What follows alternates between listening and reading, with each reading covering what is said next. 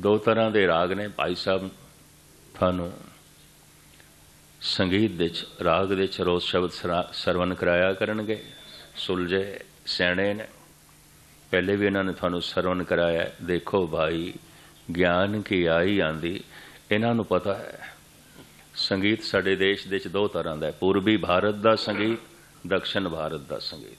ਗੁਰੂ ਗ੍ਰੰਥ ਸਾਹਿਬ ਦੇ ਵਿੱਚ ਦੋਵੇਂ ਨੇ। ਸਾਫ਼ ਲਿਖਿਆ ਆ ਜਾਂਦਾ ਹੈ, ਗੌੜੀ, ਪੂਰਬੀ, ਮੱਲਾ, ਪੰਜਵਾਂ। ਇਹ ਗੌੜੀ ਗਾਇਨ ਕਰੋ, ਉਹ ਜਿਹੜੀ ਬੰਗਾਲ ਆਸਾਮ ਦੇ ਚ ਗਾਇਨ ਆਉਂਦੀ ਰਾਮ ਕੱਲੀ ਦਖਨੀ ਮੱਲਾ ਪਹਿਲਾ, ਇਹ ਰਾਮ ਕੱਲੀ ਉਹ ਗਾਇਨ ਕਰਨੀ ਹੈ ਜੋ ਤਮਲ, ਕਰਨਾਟਕ ਤੇ ਕੇਰਲਾ ਦੇ ਚ ਗਾਇਨ ਆਉਂਦੀ ਹੈ। ਦਕਸ਼ਨ ਦੇ ਚ ਗਾਇਨ ਆਉਂਦੀ ਹੈ। ਸੰਗੀਤ ਤੇ ਖੋ ਗਿਆ, ਕੁਦਰਤੀ ਗੱਲ ਕਿਉਂਕਿ ਸਰੋਤੇ ਨਹੀਂ ਰਹੇ।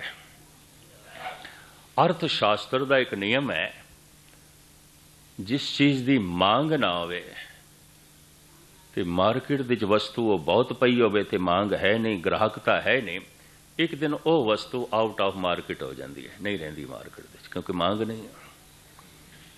ਕੋਈ ਗ੍ਰਾਹਕ ਨਹੀਂ ਹੈ। ਚੀਜ਼ ਬਹੁਤ ਜ਼ਿਆਦਾ ਹੈ, ਬਹੁਤ ਜ਼ਿਆਦਾ ਹੈ, ਵਸਤੂ ਬਹੁਤ ਜ਼ਿਆਦਾ ਹੈ। ਗ੍ਰਾਹਕ ਬਹੁਤ ਥੋੜੇ ਨੇ, ਬਹੁਤ ਥੋੜੇ ਨੇ, ਬਹੁਤ ਥੋੜੇ ਨੇ। ਵਸਤੂਆਂ ਦਾ ਮੁੱਲ ਗਿਰ ਜਾਂਦਾ ਹੈ, ਕਦਰ ਨਹੀਂ ਰਹਿ ਜਾਂਦੀ।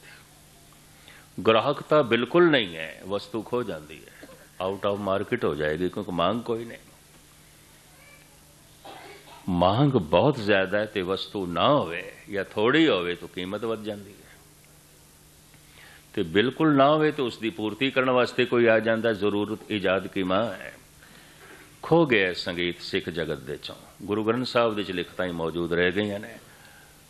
ਆਸਾ ਦੀਵਾਰ ਵੀ ਅਸੀਂ ਆਸਾ ਰਾਗ ਦੇ ਚ ਨਹੀਂ ਗਾਇਨ ਕਰਦੇ।